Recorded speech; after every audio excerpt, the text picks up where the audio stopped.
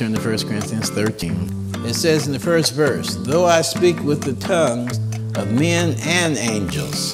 So it's talking about the tongues or the languages of men and angels, and you can speak all of them. But if you don't have love, you're nothing but a sounding brass and a tinkling cymbal. If all your love is about you, what are you on earth for if it's just about you?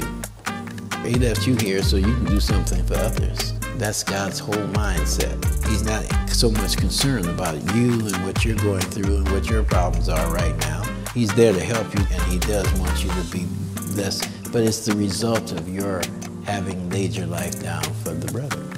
God loves you and he wants you to be blessed, but that's not his aim, that's not his goal.